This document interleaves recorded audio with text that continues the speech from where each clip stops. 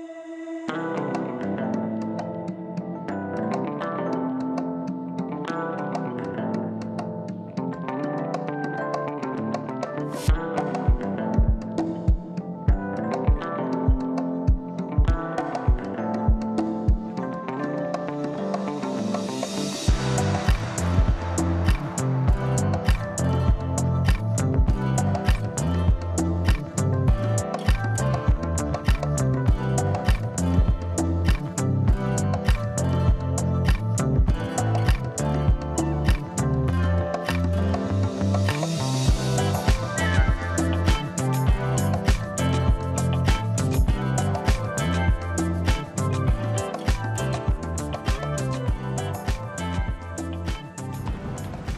right, Fishaholics. Well, welcome back to another episode. Or welcome to the channel. My name is Rich, and uh, we just launched on the upper Ashley River here in South Carolina. First time ever fishing here, and uh, we're gonna be after some riverine or river river riverine or I don't know I'm not probably not saying it right or just river stripers uh, this morning or today not just this morning we're gonna fish as long as it takes until we can hopefully find uh, some striped bass in the Ashley today and uh, at one point back in our history there was a native population of uh, stripers running up this river to spawn but over time that uh, population depleted to, to a point where there was like very few to like none left in the river. But uh, thanks to South Carolina uh, stocking stripers over the last like 15 years or so, maybe a little bit longer, uh, there's supposedly some stripers still to be caught in the Ashley River. So that is uh, our main target species for the day, but uh, we also have a shot at probably some largemouth bass, bowfin, uh, I mean, who knows? There, could, there is a, a tidal section that we're going to go down to, and there might even be some redfish or trout. So I'm going to be game to catch whatever's willing to bite. So let's just uh, start this adventure off right and uh, see what we can find. So stay tuned. All right. Well, to start, we just uh, came down river about a quarter mile, and it is chilly, chilly. Probably only about 45 degrees. That's why we got the pants, the sweatshirt, and the beanie on. And uh, of course, because it's early, we've got to start with a little Rapala top water spook type plug. See if we can get on some top water action. Got a nice uh, tree laying down right there.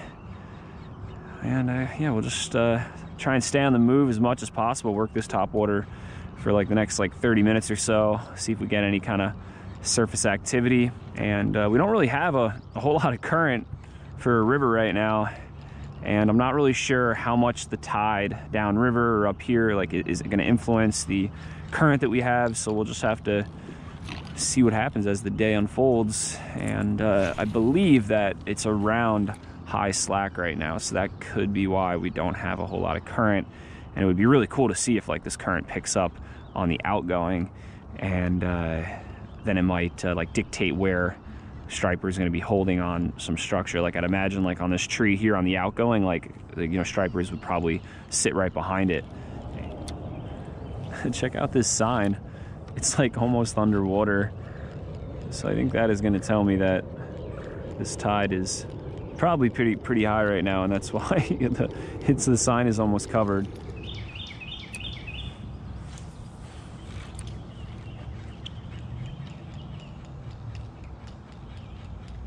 Hmm, starting to notice some current along these pilings here. That's a good sign. The tide's probably starting to go out. And, uh, you know, we'll probably throw this top water for like another 30 minutes or so. It's nice that we've got like a good shadow line, so most of this river is still being covered from the sun, which uh, I believe will lengthen the any kind of top water activity. Come on, fish, come on, come on, come on. Come on. Oh, no, I'm just kidding. Ooh, this point here looks pretty good. Nice little rip going around it. Come on, fish, come on. I'm surprised I haven't had like at least even a largemouth bass come up and nail this or a bowfin because supposedly they're in this stretch of the river. But they might be like really tight to the grass too.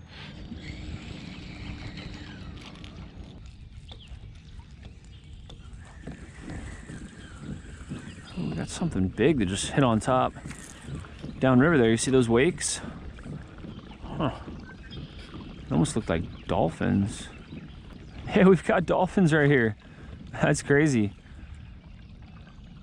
They're coming way upriver into like this brackish section. Oh, there he is. Hmm. All right, well, I think it's time to put the top water down for a little while. So we're gonna clip that off and I think switch to, check this out. This is the prototype four inch Fishaholic finback shad. So basically like the new baby little brother to the Fishaholic shad lineup that uh, is coming soon.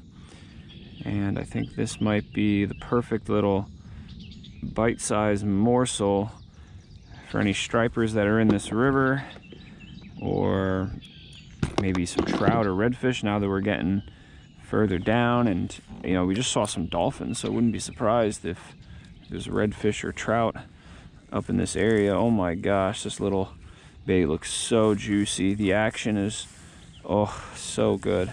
Lots of flash lots of body wobble tail kicking action. Oh this is gonna kick some butt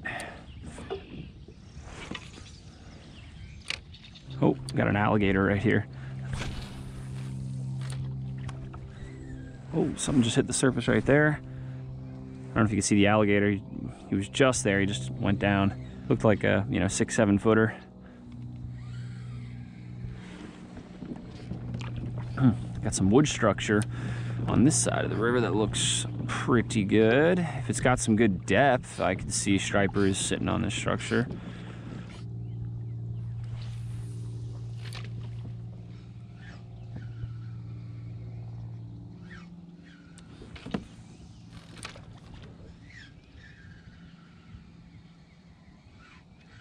Whew. Well, I don't know if it's because we saw the gator just a moment ago or that it's getting hot out here, but whew, I'm starting to sweat some bullets in these pants.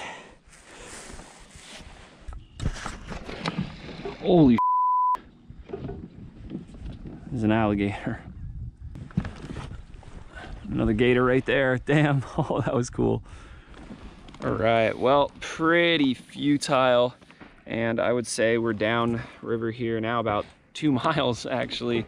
And I'm really surprised there was nothing on the wood structure not a single bite. And we actually went further downriver and there's some more like similar structure like that like a lot of it. And uh, same thing no bites at all but uh, maybe we're just hitting it at the wrong time of the day, wrong time of the tide, uh, who knows. But uh, we're gonna start heading back up river and I think uh, head towards that area where we had some docks uh, along the river and we'll fish that structure, see if uh, we can do any better and then I guess just start working our way back to the launch. It's gonna be a shame if we come out here on, on a, such a gorgeous day fishing like such a pristine river. Like i haven't had one single boat out here past me just like a couple other kayakers. It's just been so nice out here. And uh, like i'm liking like the structure and i'm liking like the depth of water we have. Um, but uh, it's just it seems like there's not a whole lot of fish but we'll just keep at it and, uh, and you know see what happens. So let's do it. Oh my gosh check this out guys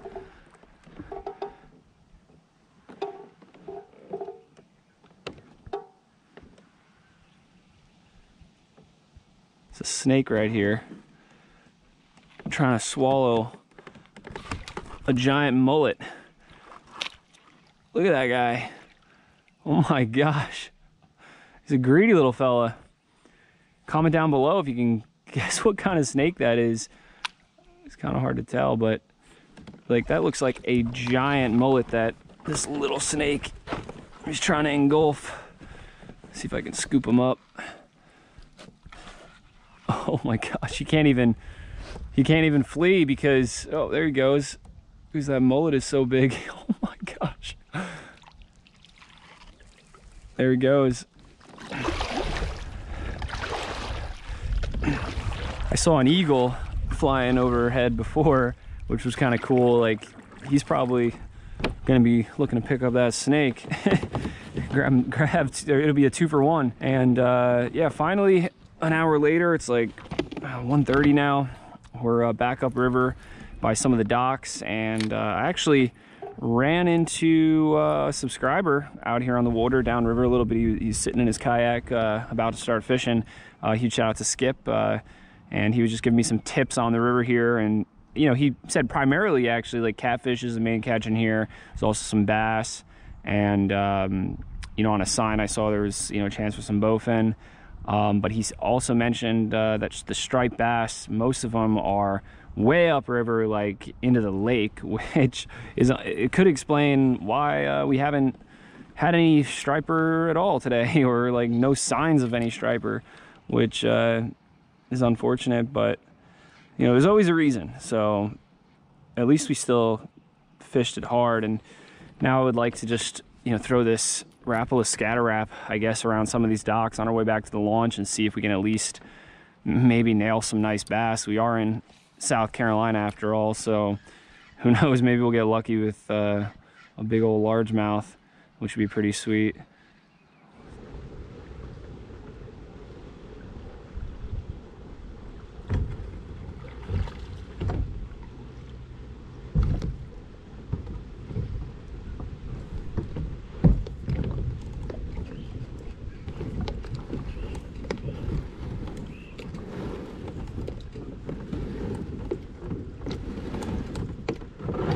all right we are back at the launch. This little uh like kayak uh ramp here is pretty sweet. It was uh, so easy just to like pull these bars and then just slide the kayak right up out of the water. And uh got some good news. Even though we didn't catch any fish uh I just got a call from the mechanic uh, Noah over at East Coast Outboards that uh, the Fishaholic rig is ready to be picked up. So uh, yeah, we're gonna load up the kayak and hope to get to the shop before they close at like five. And uh, I'm gonna then, I guess, talk with Noah and see if he can like talk with you guys, talk with the camera, and uh, kind of explain exactly like what was wrong with uh, the engine and uh, why it was not uh, getting fuel. And yeah, I guess that should be pretty cool. Was, I, I, hope for better that we catch some fish today, but it's, it's, not always the way it works. So let's get the kayak loaded up and hit the road.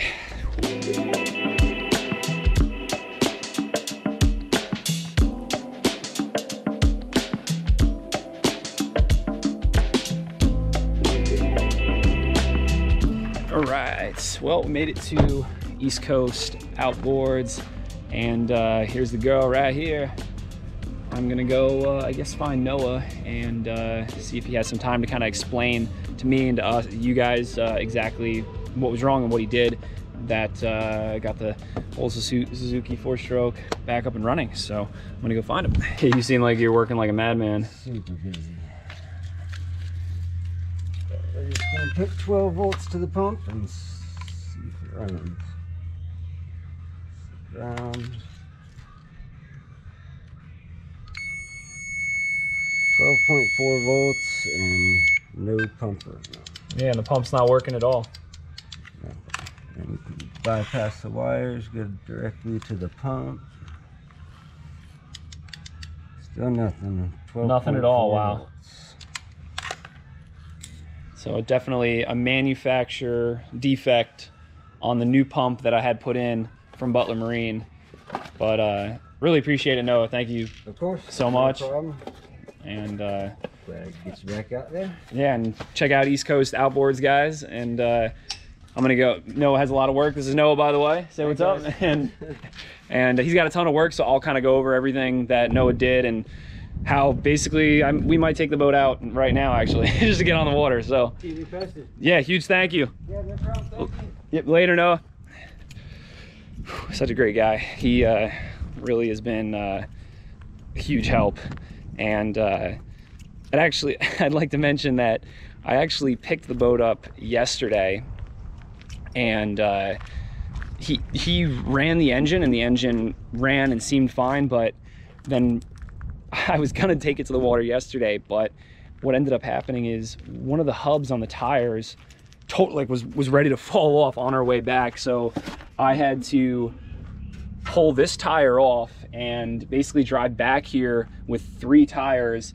And uh, then you know after Noah replaced this this hub here and then he also did this one because um, unfortunately somehow when we were on the highway this tire came loose and it it uh, basically stripped some of the threads on the old hub. And uh, oh that looks so nice. It's brand new too.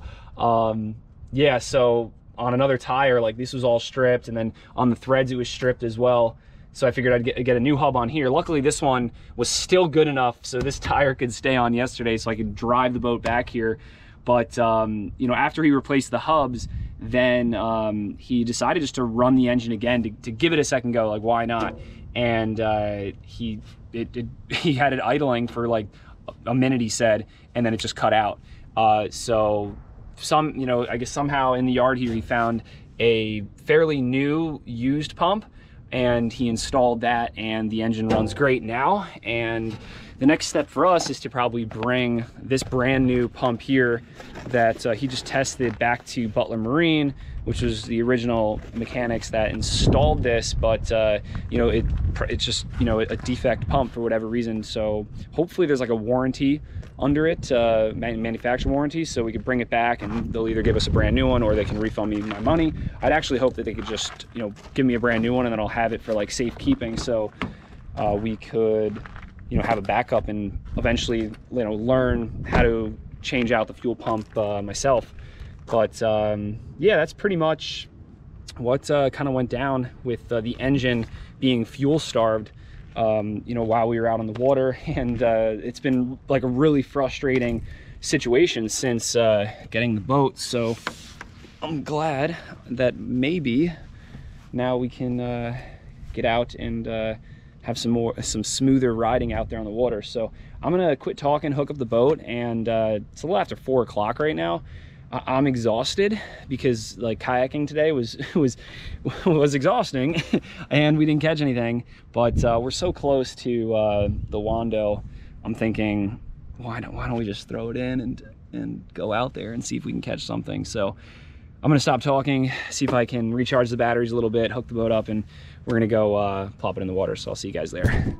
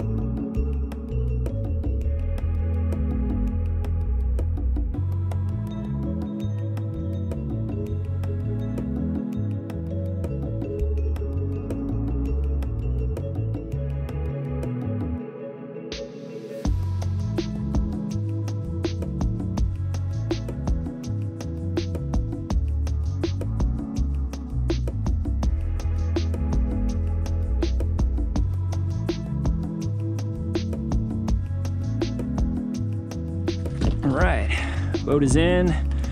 We're in the boat. Now let's put some fish in the boat.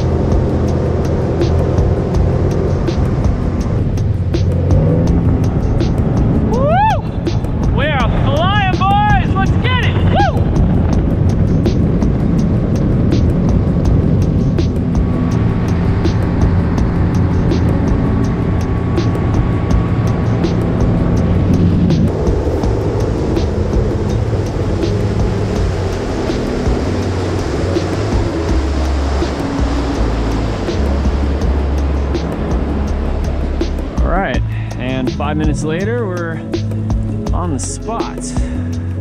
That run right there just made me so happy. So we're let's drop anchor and uh, we're gonna try fishing some of the docks here. I wanna use the uh, Ulterra, but uh, unfortunately I haven't finished the, um, under deck wiring yet and don't even have the batteries yet. So uh, we can't use that and like use spot lock or anything.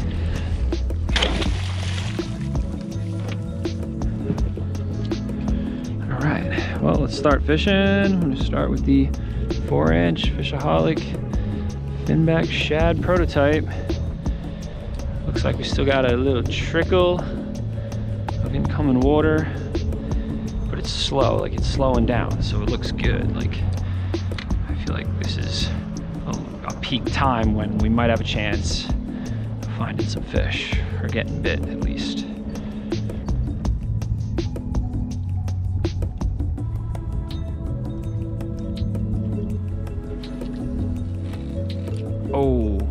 Money cash right there. Somehow I snuck it right into the shadow line under that dock way over there. And I'm just gonna let it sink to the bottom and hop it along. That's where I think some reds will be. But also, who knows, maybe a flounder or trout. Whatever willing, whatever's willing to bite. Like I just want to catch at least one fish today. Like, oh, like it's been like a really great day in terms of just like you know, being on the water all day, enjoying the beauty of South Carolina, and then getting the boat back, and uh, finally being able to uh, make a successful run.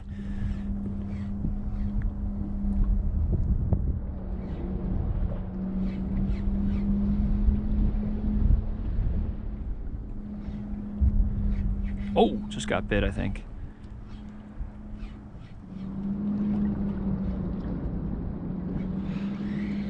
Well, I think that is about a wrap. Unfortunately, we could not catch a fish this evening. Uh, you know, I don't know why, but I could say maybe because of the tide being high, maybe a lot of the fish are pushed up into the grass. But uh, we threw a bunch of different soft plastics, not just the Fishaholic finback, and uh, we had just some little nibbles on the tails. And when I was looking at the tails, it had like little teeth marks, so maybe some snapper blues were biting at it, or little trout maybe. But uh, I'm starting to shiver because the clouds are rolling in and we're supposed to get some kind of storm tomorrow. So I kind of want to get off the water now. Uh, you know, we fished all day pretty much. Uh, I got up at like 4.45, 5 a.m. Haven't eaten anything since 6 when I had some sausage and scrambled eggs. So yeah, I am starving. And, uh, you know, I think still fishing mission accomplished for the day, because even though we didn't catch anything really.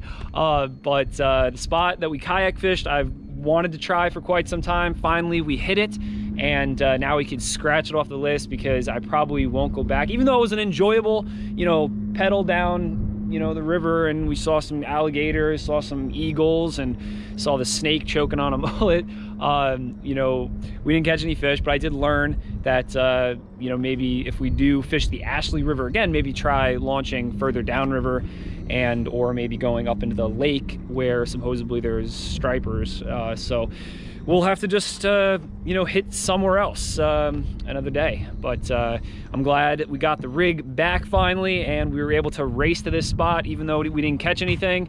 And uh, hopefully she stays good for a while now. I'm gonna cross everything I got. So now all we have to do is get the electric motor up and running and uh, hopefully the next time you see me on the rig out on the water we're out on all day catching some fish and having a blast so definitely uh, hit the like button the subscribe button to stay tuned and I am gonna sign out here and thank you for watching and like always live to fish fish to live